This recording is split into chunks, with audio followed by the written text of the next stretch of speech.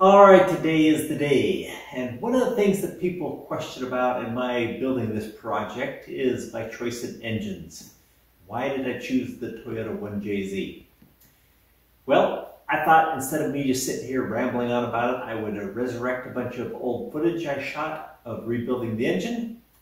And while that was running, I could go ahead and explain my thoughts on the idea of why I chose that engine. So anyway, let's go take a look at it. We can discuss it then. I film segments of my rebuild, kind of like I film everything that you, something you just do when you're on YouTube, but never planned on editing it into any kind of tutorial. Heaven knows there's enough tutorials out there on YouTube. And I particularly wouldn't trust any of them. In fact, you probably shouldn't even trust me. So what you should do if you're interested in uh, rebuilding and training and tutorials and that, you should probably go to Horsepower Academy. Um, I think you can search them as horsepoweracademy.com or they're on YouTube as Horsepower Academy. But they have some great uh, tuning, engine rebuilding courses. They even have a course specifically based on the JZ engine platform. Now, they don't sponsor me or my channel, but I do have their courses, which are great, and you can. They also have great customer service and a good community built around what they do. So there you go. We'll count that as our first reason or why I'm using the 1JZ. Number one, seems like the professional people find it important enough to create training courses around it and share information about it.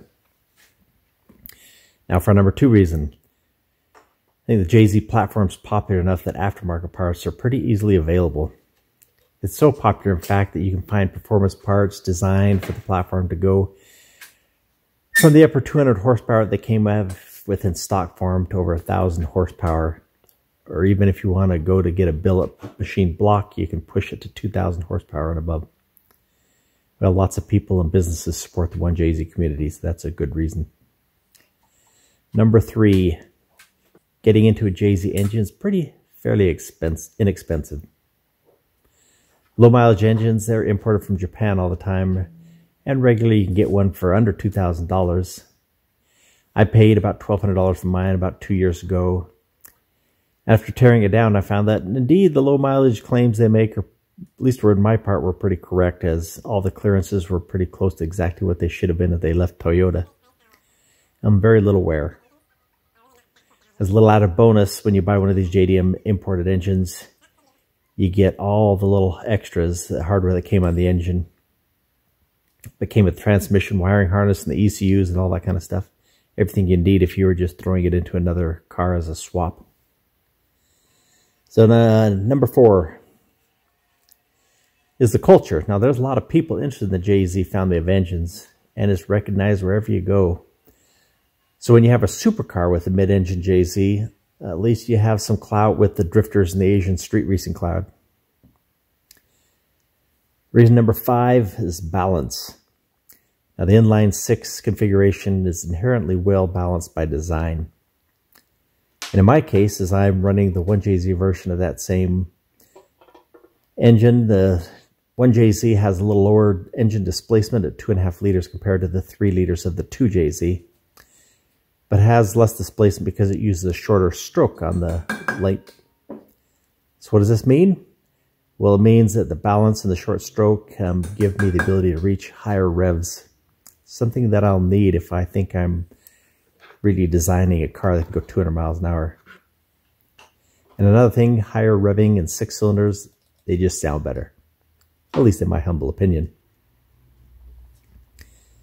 Reason number six is the fitment. Now, I thought this was a consideration, but when you hang all that stuff on the sides of a straight six engine, it takes up about as much room as any V-configured engine.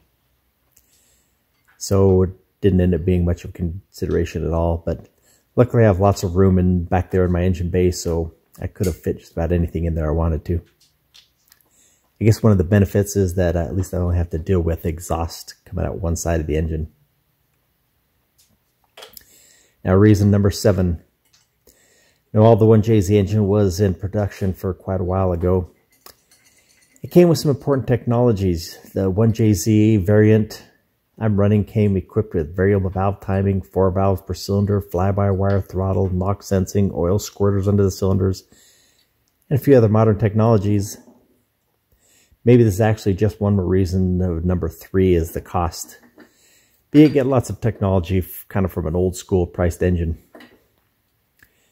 I guess the last reason I picked the 1JZ is that it's different, at least in the mid-engine configuration. Not just a lot of mid-engine supercars running straight six engines in them. And I like different. Well, there you have it. All the reasons I'm running the 1JZ. If you're a JZ fan, maybe you've got some of the other reasons of your own that you love the platform. If you do, throw it down in the comments. I'd love to discuss it with you.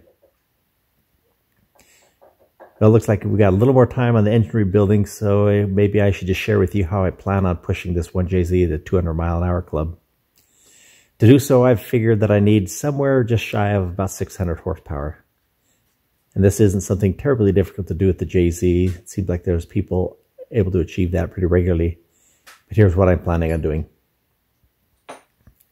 First off, rather than replace the, the JZ's CT15B turbo with something bigger, which is typically what people do, I've simply added a second 15B turbocharger. Now rather than spinning a large impeller, I get to work with two smaller impellers. Easier to spin up smaller impellers. Now you might say, but you've reduced the volume through the turbo by halving or splitting the manifold. And this would be true if we weren't increasing the flow on the intake side so much.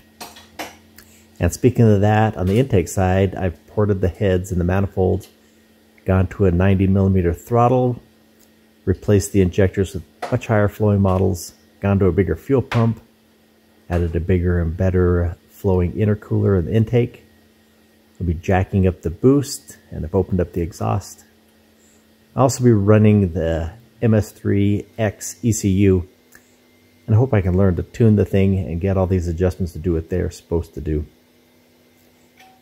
Well, that's about it. I guess high energy ignition coils and some bottom end things like stud kits and such could have been mentioned.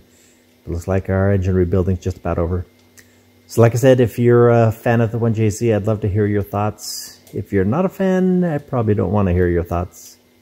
Okay, but I will listen to your thoughts anyway as well, so go ahead and put them in the comments. Until then, have a great day, and again, thanks for stopping by. Hope we see you again.